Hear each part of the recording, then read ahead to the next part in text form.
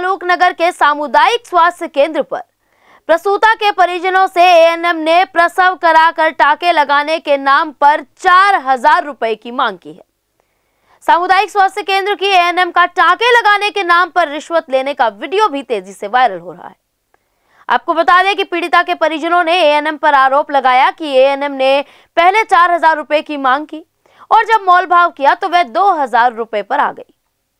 बरनाहल कस्बा के एक इंटर कॉलेज में तैनात चतुर्थ श्रेणी कर्मचारी सोनू बुधवार को अपनी बहन को प्रसव पीड़ा होने पर सामुदायिक स्वास्थ्य केंद्र सलूक नगर पर ले गए।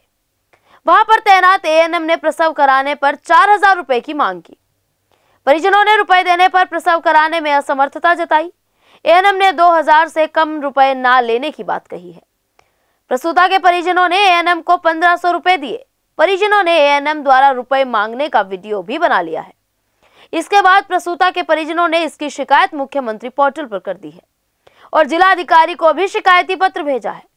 इस मामले में जब सीएससी प्रभारी से बात की गई तो उन्होंने बताया कि उन्हें आज ही मामले की जानकारी हुई है।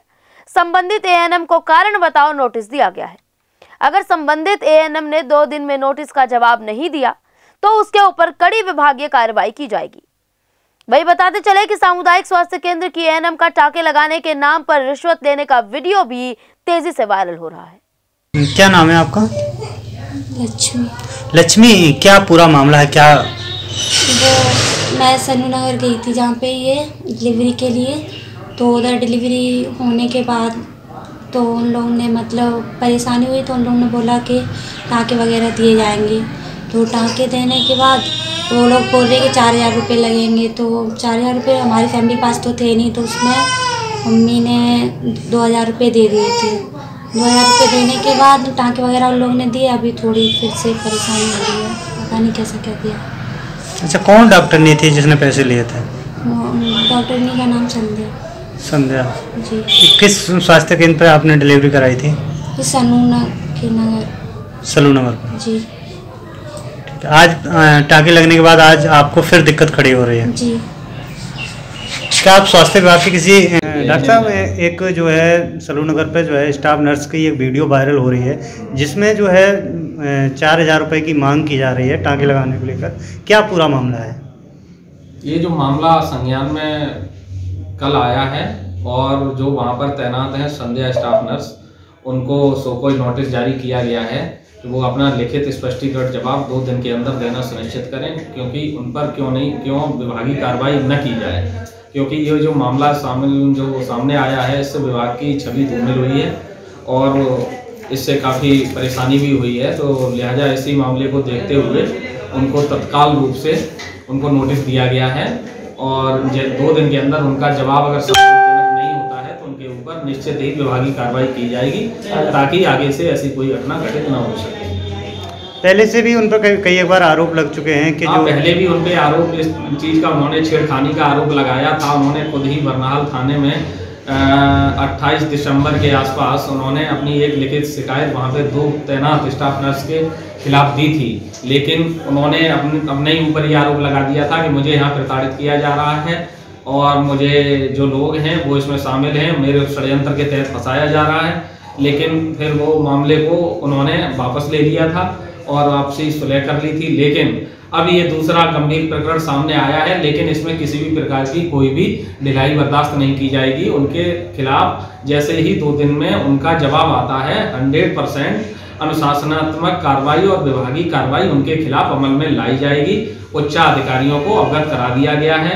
और जैसे ही उनका दो दिन के अंदर जो कार्ड बताओ नोटिस दिया गया है उसका जवाब आएगा उसके आधार पर उनको कार्रवाई की जाएगी। गलत छाप दिया ना डॉक्टर साहब एक जो है सलू नगर पे जो है स्टाफ नर्स की एक वीडियो वायरल हो रही है जिसमें जो है चार हज़ार रुपये की मांग की जा रही है टाँके लगाने को लेकर। क्या पूरा मामला है? ये जो मामला संज्ञान में कल आया है और जो वहाँ पर तैनात हैं संध्या स्टाफ नर्स उनको सो कोई नोटिस जारी किया गया है कि वो अपना लिखित स्पष्टीकरण जवाब दो दिन के अंदर देना सुनिश्चित करें, क्योंकि उन पर क्यों नहीं, क्यों विभागीय कार्रवाई न की जाए। क्योंकि ये जो मामला शामिल जो सामने आया है, इससे विभाग की छवि धूमिल हुई है, और इससे काफ़ी परेशानी भी हुई है। तो लिहाजा इसी मामले को देखते हुए उनको तत्काल रूप से उनको नोटिस दिया गया है, और दो दिन के अंदर उनका जवाब अगर निश्चित ही विभागीय कार्रवाई की जाएगी ताकि आगे से ऐसी कोई घटना घटित न हो सके। पहले से भी उन पर कई कई एक बार आरोप लग चुके हैं कि हाँ जो पहले भी उनपे आरोप इस चीज़ का उन्होंने छेड़खानी का आरोप लगाया था। उन्होंने खुद ही बरनाल थाने में अ, 28 दिसंबर के आसपास उन्होंने अपनी एक लिखित शिकायत वहाँ पे दो तैनात स्टाफ नर्स के खिलाफ दी थी। लेकिन उन्होंने अपने अपने ही ऊपर ये आरोप लगा दिया था कि मुझे यहाँ प्रताड़ित किया जा रहा है। और मुझे जो लोग हैं, वो इसमें शामिल हैं। मेरे षड्यंत्र के तहत फंसाया जा रहा है।